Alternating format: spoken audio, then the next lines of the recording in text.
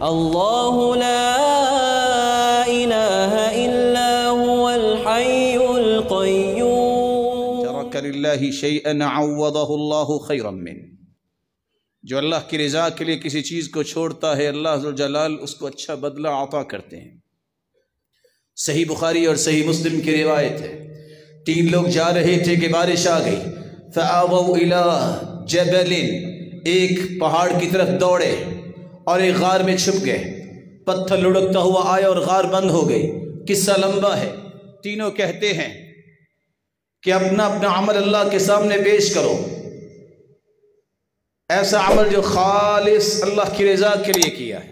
ان میں سے ایک شخص بول کے کہتا ہے، اللہ تو جو جانتا ہے، میں نے برائی کے لیے مال بھی دیا۔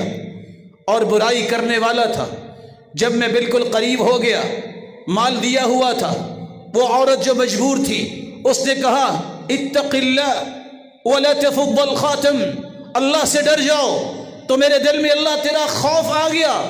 میں نے برائی نہیں کی، میں نے مال بھی چھوڑ دیا۔ اللہ اگر تیری رضا کے لیے میں نے برائی چھوڑی، آج ہمیں آزاد کر دے۔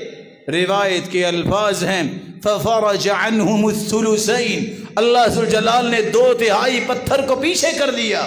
اور ایک شخص کہتا ہے، اللہ تو جو جانتا ہے میں نے ایک شخص کو اپنے پاس کام کرنے کے لیے رکھا۔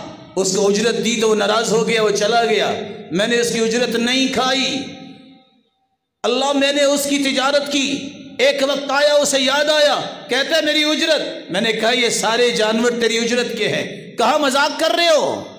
کہا مذاق نہیں کر رہا، یہ تیرا ہی مال تھا جس سے میں نے تجارت کی ہے۔ میں نے یہ سارے کے سارے جانور دے دیے۔ اللہ میں نے صرف اس لیے کیا کہ تو راضی ہو جائے۔ اللہ ذوالجلال نے اور پتھر کو ہٹا دیا۔ تیسرا کہتا ہے، اللہ میں ہر روز اپنے والدین کو پہلے دودھ پلاتا، ایک دن میں لیٹ ہو گیا تو وجد میں نہ ایمین میں جب واپس آیا تو دیکھا تو والدین سو رہے ہیں۔ کرہت ان اوقظہما من نومہما، میں نے ان کی نیند خراب کرنا پسند نہیں کی، اور میں نے یہ بھی پسند نہیں کیا کہ اولاد کو پہلے دودھ دوں۔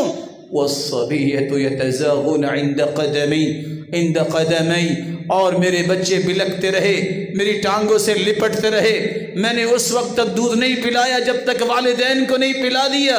اللہ اگر تیری رضا کے لیے کیا ہے، تو آسانی فرما دی اللہ نے سارے پتھر کو ہٹا دیا اور تینوں غار سے باہر آ گئے۔ ان ترک للہ شیئا عوضہ اللہ خیرا من، جو اللہ کی رضا کے لیے کسی برائی کو یا کسی چیز کو چھوڑتا ہے، اللہ ذوالجلال اسے نعم البدل عطا کرتے ہیں۔